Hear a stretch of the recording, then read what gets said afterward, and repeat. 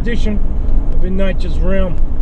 Now today I'm off to a lake called Wombat Reservoir and uh, it's a beautiful little lake set right in the middle of uh, Daylesford and it's stocked with trout and it's just uh, another one of these little little reservoirs that are just fantastic to fish. Now we're going to meet Ian Scott today at the lake and we're going to give it a go. So uh, keep uh, watching and um, yeah we'll see you real soon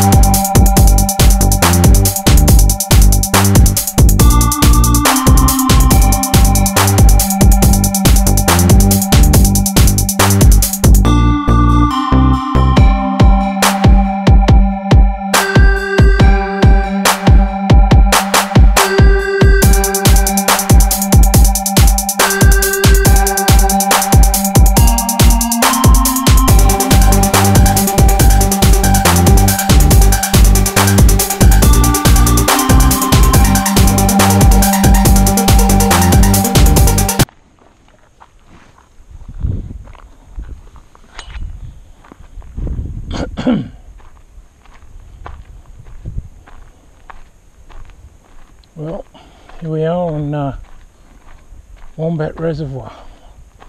I'm all geared up and uh, walking along the dam wall. Now, Ian's normally saying trout rise as uh, well, not that long ago, just yesterday, and um, we haven't seen any trout rise but could be a little bit, he's a bit earlier than what we normally come out. So um, anything could happen. Now I've got a uh, grasshopper fly. I don't know if the camera can see the grasshopper fly on because there's quite a few grasshoppers about. It's a windy day a good searching fly so give that a go first off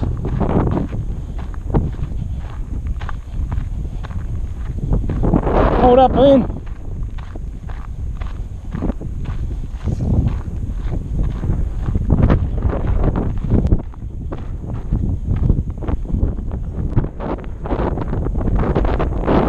Now, Ian, I've just explained to the viewers that um, we're going to search with grasshoppers, but the normal flies you would try would be uh, beetle patterns, wouldn't it? Beetles uh, during the day for the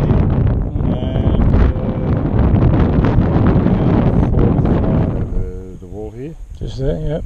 Um, took a grasshopper off the surface.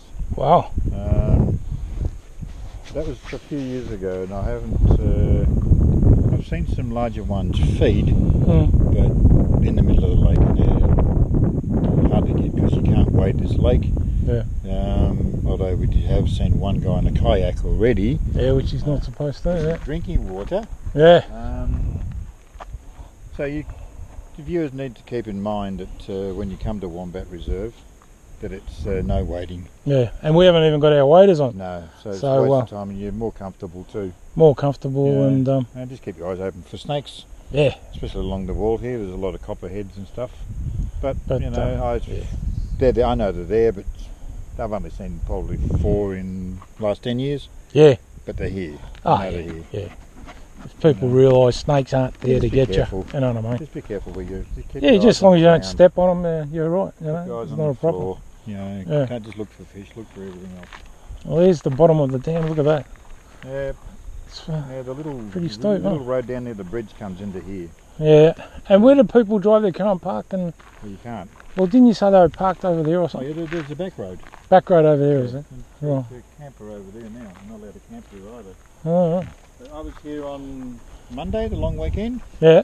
and there was probably 15 people camping camping along that side. Okay. Fires going everywhere. Not allowed to. People just they've all the signs away. Mm. So Interesting. People just think they can do whatever they want now. Hmm.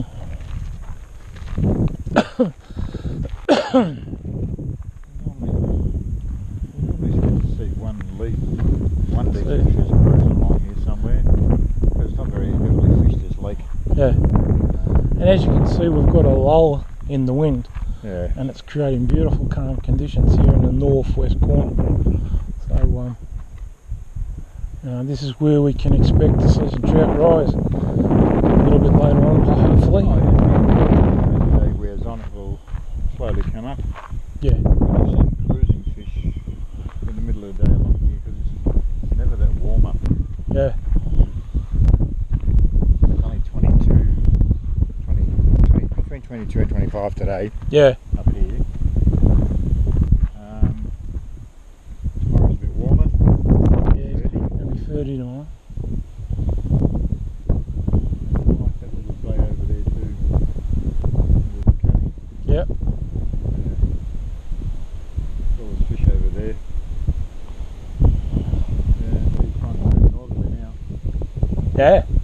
Really kicked up now. Yeah, straight northerly. Like it's, it's a hard place to know where to go. Yeah. Uh, because it's not a big lake, you know. I can, even in my condition, I can manage. If I walk at my pace, I can get around the lake.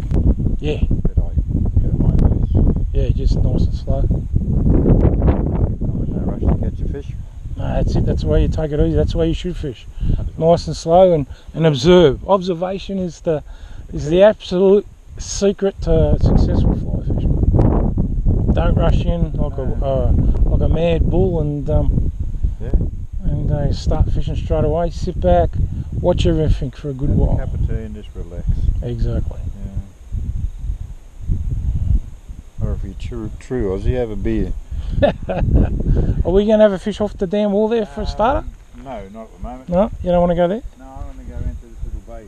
All right. Yeah, you can fish there if you want. Yeah, all right. I'll I'll give that a go. You, you'll see me. Yeah. Give me a hoy if you get into some fish. The time you're finished, I'd have just got there. Just don't like fake No worries, man. All right, let's go there and uh, have a bit of a search. Mm, Now from here, I've got a good view of the the lake. I don't know if the camera. There's no glare for me, and I haven't got Polaroids on, but I can see through that water a good distance. And uh, if a trout cruises along there, I'll definitely see him. This is what you've got to do. You've got to have a look, see what might be happening. Alright, let's give a bit of a fish now. There's something on the surface there. I don't think they're hoppers, but you've got to check these things out. I think they're just, uh, yeah, just thistle seeds.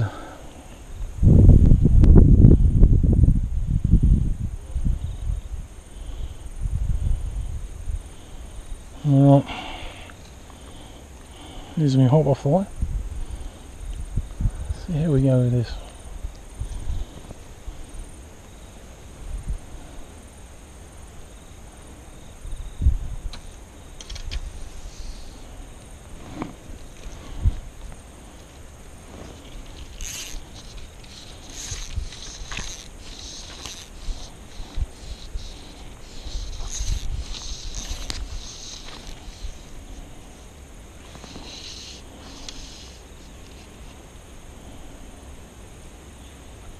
Alright, now I've just cast out the grasshopper fly.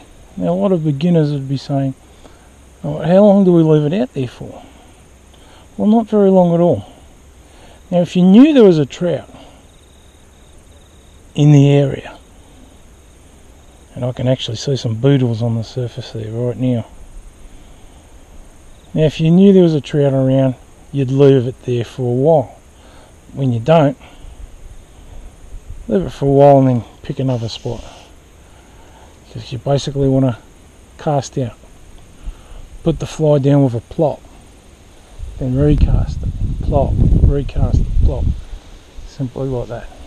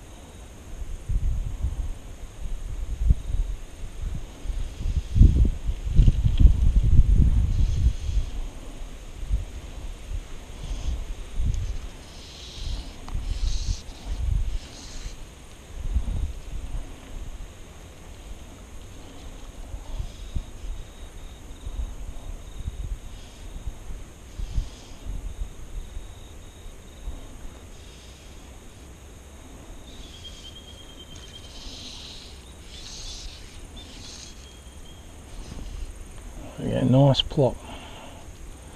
It uh, creates a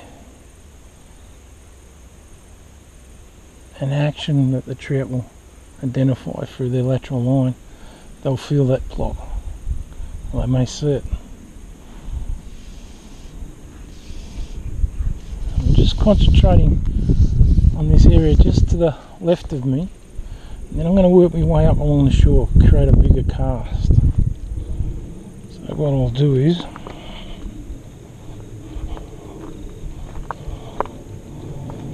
I'll get a bit closer.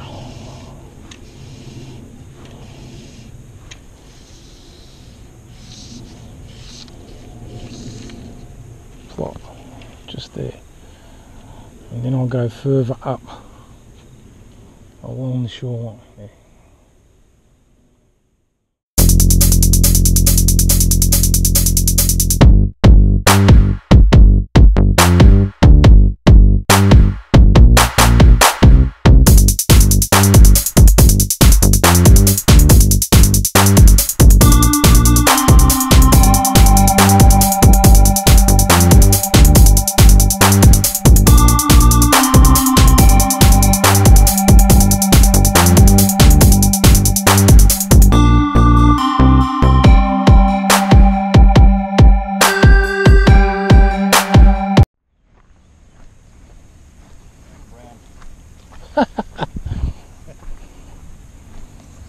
Go.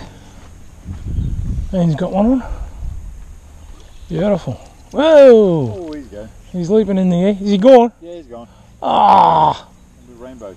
I wonder him. Oh, he's got him enough, didn't you? Yeah, I got him on film. There you go. nearly- Be interesting to see. Um, Close as I cast. My fly landed right next to him and he scoffed it. well, it might be good. I might have got him as he was flying because he's close enough. So my little green midge works. Bloody over though. That little rainbow.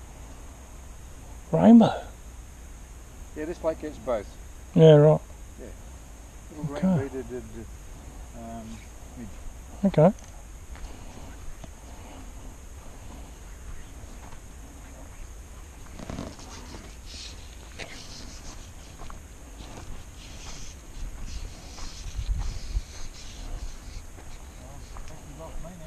Hey? Yeah, I know. Well, I don't like my chances.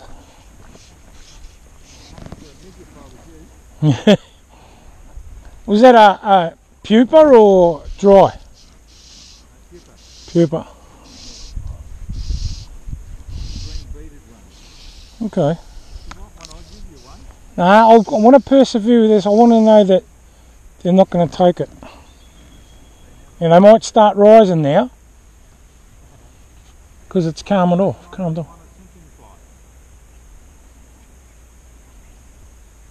Let's just watch.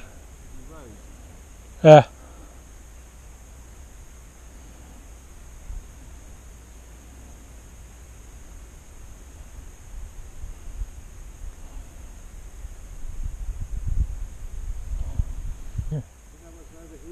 What?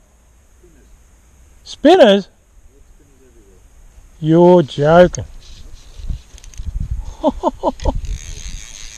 oh my god. Well, there's only one fish in the lake. Jesus. I'm going to come and have a look.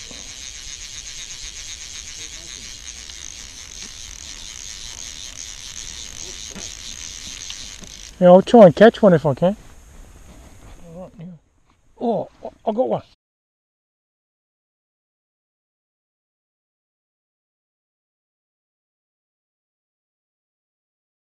Very small. Oh, When you're not looking, you took it. put another fire. If you'd have been looking at it, you probably would have missed it. Oh no, it wouldn't have touched it. Yeah. No, mate. Yeah, go- he's not looking. Okay, so there's the black spinner. Beautiful. All right, so that's a good, good vision there. Black spinner, probably about a size 14. And and-. And here's the results. I put a black spinner on, and he's putting up a good fight. This bloke, for his size, Yeah. and he's a rainbow. So you want to keep this? Huh? You want to keep it? The spinner? No. no. That's. Do you want a fish to take home or? No. Okay. No, it's too small, Bruce. Yeah, fair enough. There you go. Just thought I'd check. One all. Yes, there we go. Nice little rainbow. He's actually a nice size. Oh, take it easy, take it easy. Take it easy, man.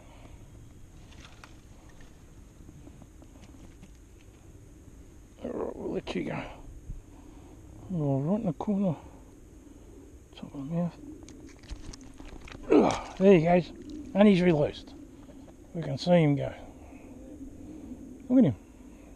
It was actually it was actually um right in the corner of his mouth. So um and there you go folks, he's uh, a bit tattered and torn. You don't look at your fly and you catch a fish. Yeah, there you go. Don't look at your fly and um, they'll automatically uh, come up and take your fly. How's that? Funny. So what does that tell you? Yeah. That tells you Don't need any skill. no, you need to put movement in the fly. don't need skill. No, because when I Oh, when you turn around turned around, I've skated the fly. Oh, right. See? So that's what Yeah. Oh, So now on my next cast, my very next well, cast, well. Very well, Bruce. I'm gonna I'm gonna start to put a bit of Skate movement. Yeah, just skate it a little bit, and that happens with caddis. Yes. You'll get caddis trait. quite a few take- like that. Yeah, exactly. Skate them across the surface. So, uh. There we go. Honest. Great. There you go. I'll get that fly out again.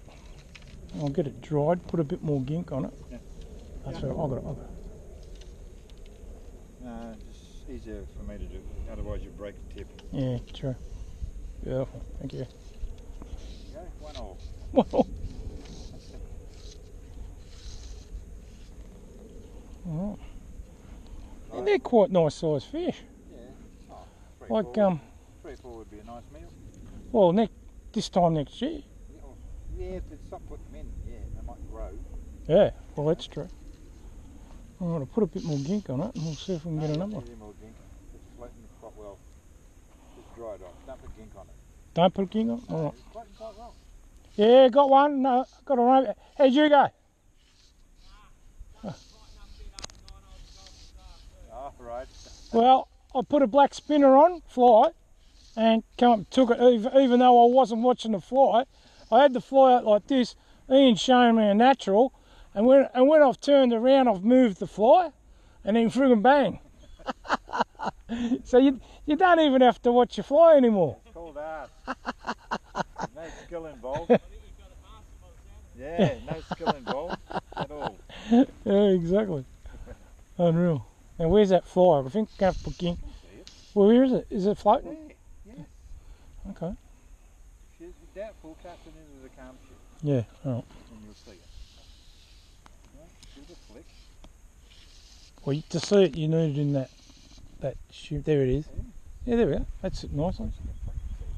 Beautiful. Yeah. Yeah. yeah. A bit like Judy, she's blind and deaf.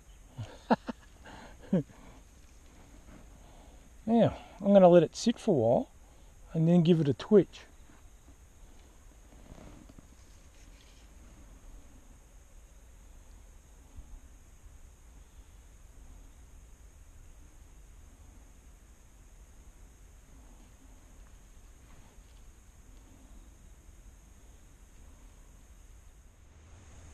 Okay. Just had a um, tiny trout leap out of the water after those black spinners that we've identified. We've caught one on a black spinner already. Well, no, yeah, one. And um, while there's not many abouts, it's definitely um, bringing an attraction to the trout. And uh, you might, I might need to skate me fly as well. Just slightly move it bring a bit of life to it.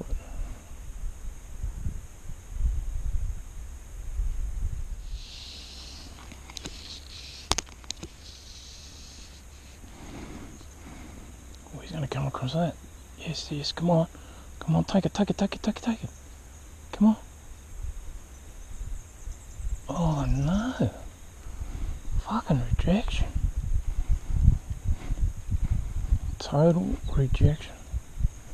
That's insane.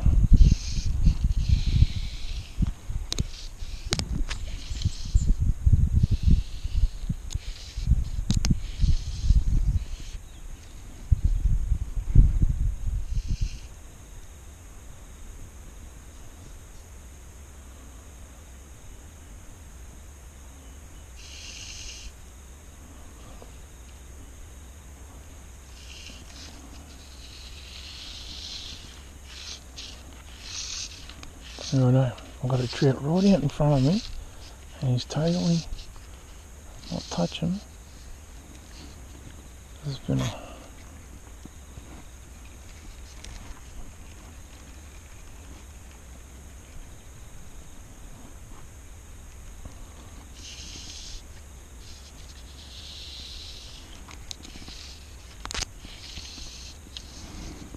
Look at that, right next to him.